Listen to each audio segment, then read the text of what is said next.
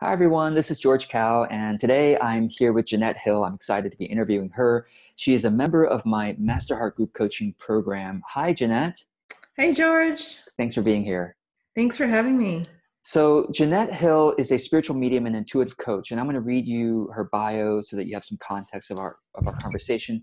She's going to share some of the lessons she's learned in building her business, and uh, she's also going to teach us a little bit about connecting with our higher guidance. So I'm excited about that. All right, so here's the bio. Jeannette Hill is a spiritual medium and intuitive coach who helps people gain clarity about their soul's purpose and to understand how spirit guides support them in their lives. Her work is about guiding others to feel more empowered through self awareness and spiritual practice. She has a master's in transpersonal psychology and has trained in hypnotherapy, life coaching, energy therapy, intuition, and mediumship. Jeannette, thank you so much for being here. Appreciate it. Thank you so much for interviewing me today, George. It's a real privilege. Thank you. Yeah. So, um, you know, there's a lot you've learned as you've built your um, mentoring, healing, and coaching business. And one of the lessons is about is about courage. Uh, so, do you want to share more about that? Yeah, um, I think it takes a lot of courage to do the kind of work a lot of us do that are your um, in your program. Because uh, years ago, a coach said this. I think it's so true. Those of us that do this kind of work are really putting ourselves out there because we really do this kind of heart-centered work, and we have to be willing to be vulnerable and not only take those steps to build our business, but really put our you know our lessons that we've learned our vulnerability and really be willing to be authentic about that. And takes a certain amount of courage to do that. It absolutely does. And i'll tell you the the i guess fear or the potential fear it, in my experience never really goes away um, or that it's it's it's always a practice yes. and, and it's like sometimes people have the sense oh you know someone like george who's already so established in his business he must have no fear every day. No it's it's you know every time i every time i make a video or mm-hmm. every time i create a course or every time i write a blog post you know there's still that sense of well maybe nobody will like it you know or very few people will like it and what if uh, it's a waste of time or whatever it is. And uh, yeah so thanks for clarifying it, that that that you've experienced that and that you're you're learning about that too so how does that? How do you? Maybe you could connect this a little bit to spiritual growth or um, yeah yeah how, how does that how does how does building a business and the courage there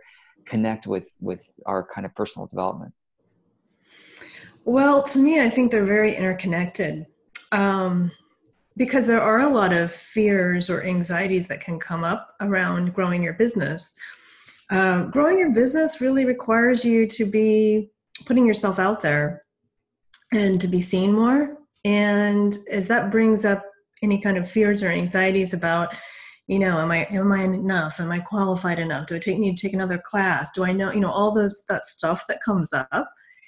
It requires the same tools and techniques like I used in my daily life that I work with with my clients. I'm using the very same things that I'm teaching um, you know, the meditation, the getting in touch with my feelings, my emotions, um, being aware of if my thoughts are kind of spiraling into a, in a negative pattern and bringing it back, bringing myself back into balance. Um, to me, personal development and spiritual development and growing your business, it really, really goes hand in hand because, and I really didn't know that when I was starting out, but it's really so true. It's just, everything I do, like you said, every new thing, and right now my new thing is trying to go online. That has brought up some fears for me, like, oh my gosh, I don't know what I'm doing. I've got to make videos. I've got to do all these other things. It can bring up that anxiety. And then I'm, I've, I've got to do the same thing. You know, I sit in the meditation or I, or I do the visualization or I read a positive book or when I'm exercising, I'm watching a positive video on YouTube or something. I'm doing the same things I would do in my personal life to grow my business, to keep myself inspired, and to keep myself thinking positively. Mm. I like that. I, I yes, absolutely. It is. I sometimes say that you know business is really just a stage for our personal evolution. Uh, you know, it's it's like it's there's no separation. You know, the more we are willing and open to growing personally, uh, the more our business can grow because we're more willing to take risks. We're more, uh, right? Like we're we're less um, dismayed by any kind of potential failures or things that happen that could be considered failures. Mm-hmm. You know, so so yes, thank you for um, confirming that. Um, another lesson you've been learning is about is about content. You know, and mm-hmm. and the importance of that and and so tell us about your experience with it and any kind of uh, or words of encouragement you have for for the audience about that i would say it's a big thing i've learned from you is that consistency and then creating the content and then sharing you know the best of what you have and sharing um, kind of like bite-sized you know amounts doable amounts i have noticed the more i share um, whether it's on my business page or you know things like that. Um, if I put a live video on, there is more engagement and there is more feedback that I get. And there, it's just like anything. The more you give out, you know, the more you can get back, and it's it does require a consistency that I'm still, to be honest, working on. But it, it, it is all tied. The more that you share, the more that you put what you've learned, think really, people really appreciate it. I think people appreciate, and that's another thing I really like about what you do is even those short videos that you have, um, they're very inspirational, they're very positive. It helps you feel like I'm not alone in this. If I sometimes feel afraid or I'm still feel insecure in what I'm doing, you're you're like a cheerleader there, saying it's okay. It's okay to have that. it's okay to think that, you know. Yeah. And um, before, I guess I wouldn't have thought of that as like content to share you know you as a business coach. But even those things that you share are very helpful. You know in addition to those those longer classes that you teach that i sign up for um, it's all very helpful because part of it's the mindset too. You know it's not just learning about the seo or the google or the website. A lot of growing your business is the mindset too of continuing to believe in yourself and, and feeling inspired and keep going that persistence yeah, absolutely. Yes. Uh, thanks for saying that. It's, I think all of us who are growing a business ought to think about, or, or I, I, hope we can experiment with being open about our journey. You know, I think mm. that's, I mean, that's why I do these interviews too. It's like, oh, hey, you know, everybody, everybody experiences challenges and, you know, the, the, the shyness of putting ourselves out there or, or the you know the the challenge with consistency. Everybody experiences that. And like when we're willing to talk about it i think our audience um, oftentimes comes to our support.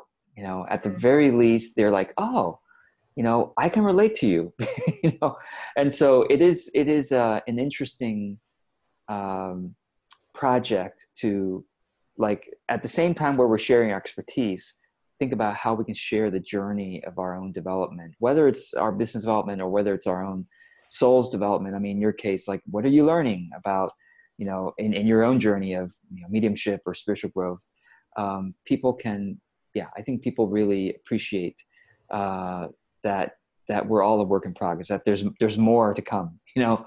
So um, so let's uh, switch gears a little bit. I, I'd love for you to start to talk about this idea of higher guidance and how do we connect mm. with that um, maybe you can start with describing what you mean by higher guidance and then kind of start to teach us some of the techniques for how to connect sure what i mean by higher guidance um, people can give it different names to me um, whether whether you consider that coming from your soul or your higher self mm-hmm. or spirit guides or what you might um, consider a higher power, spirit, universe, God, whatever you know you want to call that.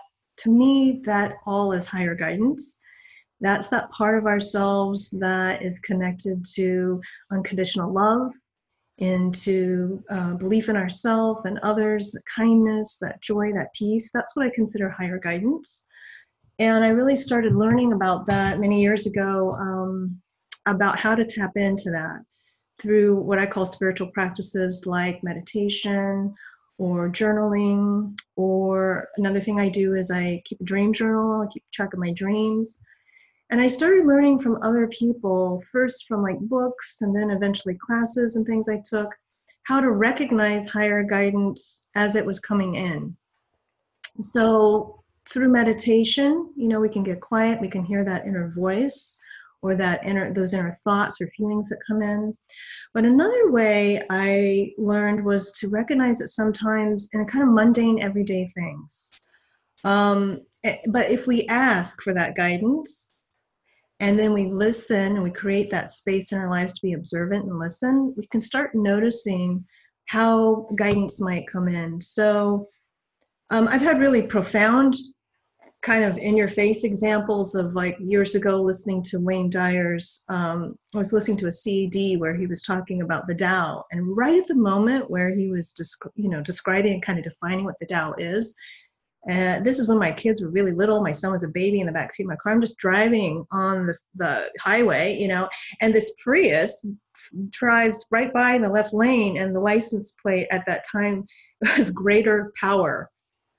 Greater power. And this was at a time in my life where I really needed to feel like there was some support, there was some big changes that we were thinking about doing, and I was asking for guidance. You know, I was asking for that support. So I felt really like in your face, like, wow, there it is. That, that's kind of cool, you know? Um, and then also there's just the subtle things like it might be a book that you're guided to read that really speaks to, to something going on in your life. It might be something as simple as like you're watching a television show or a movie, or there might be a song that you you feel like you're really speaks to you or that you're hearing over and over in your life. Um, some people really connect to, to numbers or to the animal world, you know. Um, there's just a lot of different ways that higher guidance comes in. It, it doesn't just come in through uh, when we're sitting in meditation. I think that's one of the best ways. But there's a, I really believe that higher guidance is in our lives every day if we kind of become observant and create that space to notice. Mm. So um, that's one of the big things I encourage people to do in my work is not only to get to know yourself, but to start paying attention to how you receive guidance. So, because I'm a medium and because I early on trained as an intuitive, um, I was taught to understand what we call things like clairaudience, clairvoyance, clairsentience, and claircognizance. And the clair is just about clear. So it's like clairaudience, how do I hear? Clairsentience, how do I feel? Claircognizance is like a knowingness and then clairvoyance is like seeing so sometimes we see literal things like that license plate on that prius that drove by and sometimes it's very subtle inner things that happen like an inner feeling or maybe you sometimes get like this inner daydream or inner picture. Or you might just have this sudden kind of knowingness this feeling like something just feels right or something doesn't feel right. Or you might just have like a physical sensation, or you might hear that kind of inner voice. You don't have to, you know, be a medium like I am. You can really tune into those inner senses because we all have them. And I, I really strongly believe we're all guided, we're all supported. It's just sometimes we're not aware, and especially in this culture, it's so like a doing culture and really, I think what helps support and heal us a lot of times is when we can step back from the doing and just be and learn how to understand how we're being guided and supported when we're in those states of just being. Mm. How might one distinguish between higher guidance and our own thoughts? I mean, sometimes. Uh, and and and maybe maybe it's impossible to dis- distinguish between the two but but if let's say someone was trying to make a decision about something mm-hmm. Mm-hmm. yeah so how do you how do you advise i mean i know this probably different for everybody but any kind of tips there about that well first of all i think our higher guidance can come in through our own thoughts what i would distinguish is like years ago when i was first learning this one of my teachers taught me to distinguish between higher guidance and like the ego or the personality self or whatever you want to call it. And so, one way you can distinguish is our thoughts will often go in these kind of, you know, you've noticed they go in these cycles, these repetitive patterns, and it's worry, they're kind of scattered. what I've noticed through years of creating practice like meditation and quieting my mind more is higher guidance, even if it feels like it's just coming from me. And a lot of times it does kind of feel like it's coming from you. And then there are times where it feels like it really does seem like it's dropping in from somewhere else. But to me, the important distinction is that you feel a groundedness with it. You notice that the thought comes in even if it comes in very suddenly, it's like a wise voice speaking to you.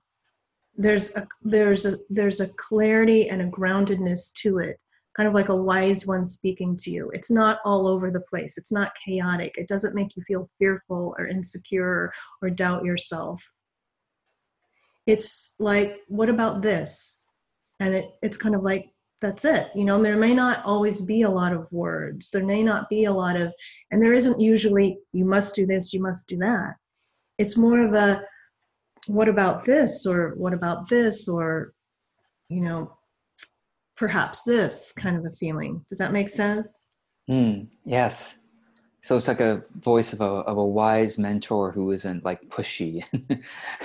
yeah, um, or it can or it can be really specific sometimes. It's like another story sometimes I'll tell people is years ago when the internet was really new and I, yellow pages still existed and I was wanting to apply to go to art school. And it was back in the day where I didn't use the internet. It was a new thing and I just pulled out the phone book and I, I needed to get slides to you know get um, photography slides made for a portfolio. I was like i don't know how to do this. I have no clue what to do.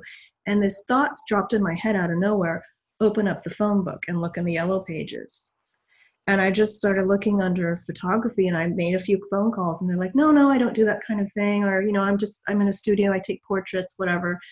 Maybe like the fourth call or something i get this man on the phone and he says oh i think you've got the wrong you know this i work for a processing lab.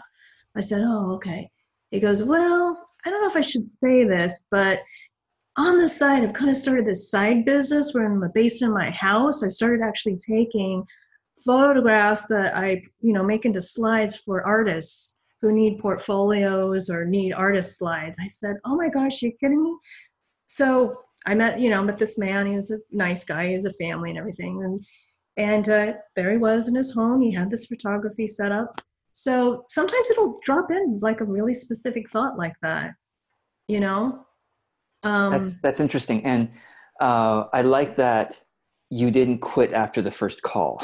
yeah, yeah. right. That's the other thing. like, okay, I'm gonna keep going, and then yeah. you know, by the fourth call, there was there was some connection. Um, so uh, you mentioned meditation a couple times. Um, a lot of people do it in different ways of course. Um, how do you do meditation or what is what is a tip that you give your clients about that? Well the biggest tip i give is to do what works for you. Hmm.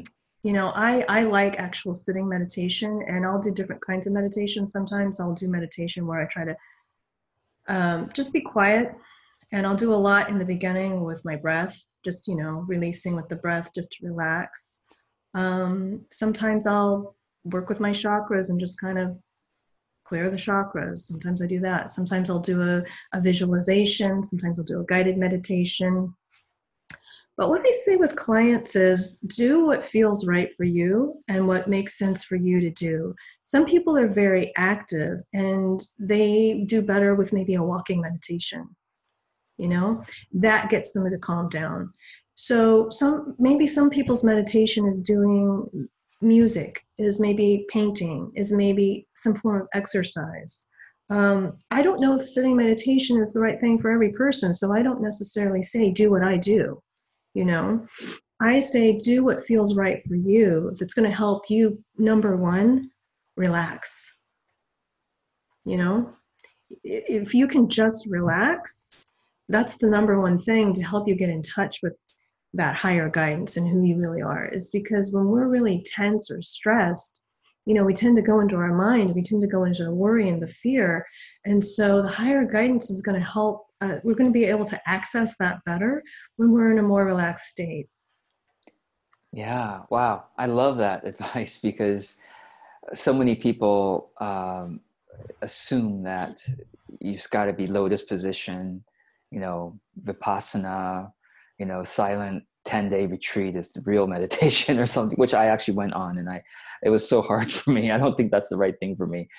Um, some people say that I meditate all the time or something, but it, it's, yeah, it's like I, um, that's interesting that you said relaxation is really one of the key factors of whether or not it's working out for you. Um, so I'd love to, we have a few minutes left and I'd love to ask you about sort of the difference between what you do in terms of intuition and mediumship. So, um, I mean, thus far we've been talking about intuition mm-hmm, or mm-hmm. less. Mm-hmm. And, and let me actually ask you: Do you help clients discover that way of meditation, so-called, that's help that's right for them?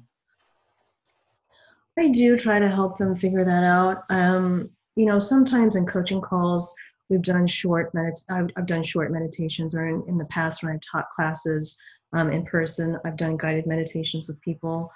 Uh, really, though, I really do encourage people to try different things out until they find what works for them. So, so you know, it's that's that's what the key I think to spirituality, all of this is to find what's right for you. I think we really have an advantage. We live in an age where there's a lot of different choices that we have. So, I really stress trying the different things you know maybe maybe you like to some people like to have aromatherapy you know some people like music some people like need to really be out in nature. I don't think our higher power whatever you want to call it universe spirit god whatever i don't think that matters. I think what matters is what, what works for us what gets us in touch with our own sense of peace and, and happiness and joy. Yeah. so hmm. that's that's what i would say um, in terms of the difference between the intuition and the meditation, or mediumship, or excuse me, the, med- yeah, the mediumship, yeah.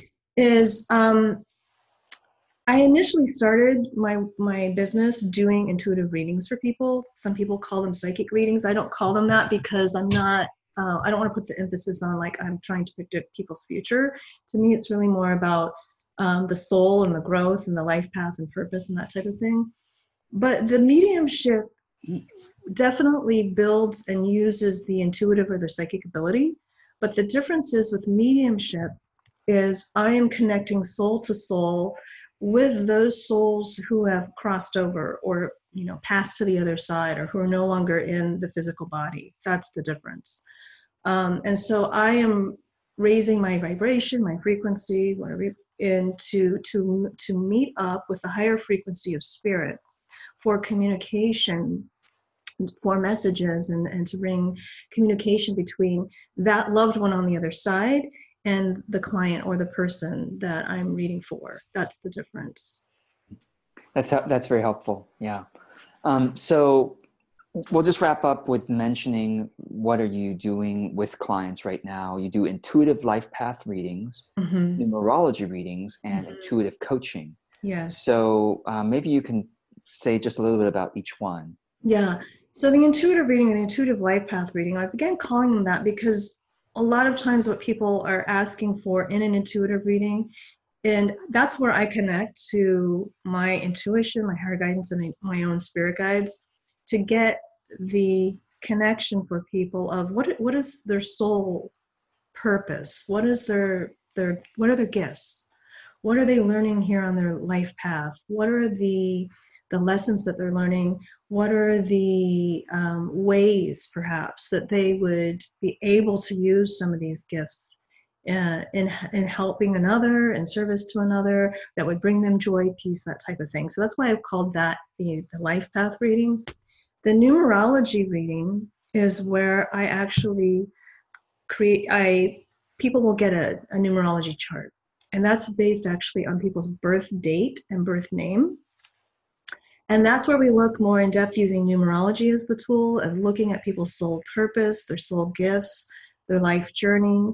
What did I come into this life to learn? What did I come into this life to express? Like, what's my mission, my purpose? Um, what are some different things that I can look at at the different timing and cycles in my life? Um, so that's the numerology reading. And then the, the intuitive coaching is where I intuitively am still often very connected to my clients and but the difference is the coaching is kind of coaching mentoring slash teaching i would say. And a lot of times people will come to me first through a reading and then they want a little bit more in-depth support. And the coaching, we might look at what you might call like the blocks or, or what are the fears or, or the concerns that are kind of stopping me on my path? Or how can i get more in tune with my peace and and my inner joy so that it's easier for me to express my purpose or to, to create that you know heart-centered business that i want. How can i um, get clear about what my purpose might be or what my gifts are what I, i'm here to share? And then sometimes a lot of times in, when i'm working with people you know maybe one-on-one in person or over the phone i'll suddenly hear guidance for them or or get some kind of guidance for them. And i'll i'll, I'll check in with the client and they'll say yeah yeah that's right or yes yes. So that's why i call it the intuitive coaching because it's not always just me. I am still trying to connect with higher guidance and i do some you know oftentimes i will get that intuitive hit or that that just kind of download of of some kind of information that could possibly help the client on on their journey on their path or their healing whatever you want to call it. So that's that's what that is and sometimes people want to know. They specifically sometimes have hired me to teach them how do i connect to my guides? I'd like to know more about that. Right. how do i develop my intuition? Um, can you help me figure out how to meditate? Can you help me connect to, to spirit and to higher guidance so that i'm i'm calmer so that i can hear my higher guidance? Mm. yeah wonderful. I mean you're empowering them to yeah. be able to keep using these tools Yes. So uh, thank you, Jeannette. Your website is jeannettehill.com. Yeah. Uh, that's with two N's and two T's. J E A N N E T T E H I L L H I L L dot. Go there and you'll be able to get the readings right from the website. If you're interested in the um, longer term coaching, you can contact Jeannette for a 30 minute complimentary consult. Uh, Jeannette, thank you so much for being here today, and um, thanks for sharing with us about uh, higher guidance and how to connect. Thank you so much, George. Really enjoyed it. Thank you.